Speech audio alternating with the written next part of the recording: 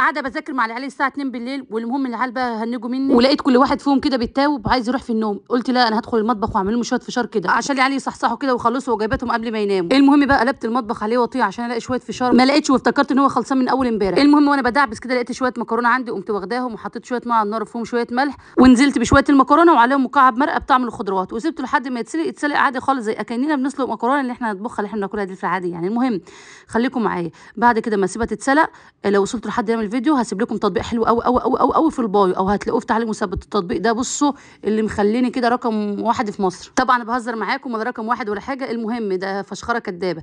قصدي أقول لكم التطبيق ده حلو قوي هتلاقوه في تعليق أنا هثبته لكم أو هتلاقوه في البايو. بعد بقى ما صفيت المكرونة من المية اللي فيها جبت ثلاث معالق من الدقيق عليهم معلقتين من النشا. حطي بقى الطعم اللي أنا بحطه ده بطعم السجق. عايزة تحطي بهارات فراخ حطي بهارات لحمة أي أي بهارات أنت حابة تحطيها حطيها. هنا حطيت رشة من بودرة الزعفران عشان تدي اللون يعني اللي أنتوا شفتوه في أول الفيديو ده وبقلب قلب آه وبالمناسبة بحط رشة من الملح عشان يبقى محتاج ملح. لو انت حابة الحاجة يعني ملحها مظبوط. وباخد بقى المكرونة اللي إحنا صفيناها من المية وأقلبها في الخليط اللي بيبقى متماسك ده أو الجاف. وبعد ما اتأكد إن كل حباية من المكرونة بتاعتنا اتشربت من التتبيلة دي بحط بقى زيت غزير على النار أسيبه يسخن وباخدها بقى بصفيها من الدقيق ده كويس جدا. زي ما أنتم شايفين خلوها بأي منخل أي مصفى عندك المهم إن انت تتأكدي عشان يبقى الزيت بتاعك نظيف. والزيت بتاعي بيكون سخن وبنزل بقى بكمية مكرونة زي ما انت حابة. لو حطيتي كتير ما تقلقيش خالص. بس أهم حاجة تأكدي إن هي تتحمر كويس وانت بتقلبي فيها تكون ناشفة. زي ما أنتم شايفين بالشكل ده أول ما نزلتها في الزيت شايفين اللون الأصفر الجميل ده بسبب بودرة الزعفران اللي إحنا حطيناها. لو مش عندك بودرة الزعفران ممكن تحطي الكركم. مش حابة تحطي ده ولا ده عادي يعني مش هتفرق. المهم إن انت تحطي أي طعم في في الدقيق وال... والنشا أنا حطيت زي ما قلت لكم يعني طعم السجق. أنا بحب السجق. فخلصت الكمية بتاعتي. الكمية بتاعتي ما شاء الله مش هينة ولا أي حاجة خالص. هتشوفوا معايا في آخر الفيديو.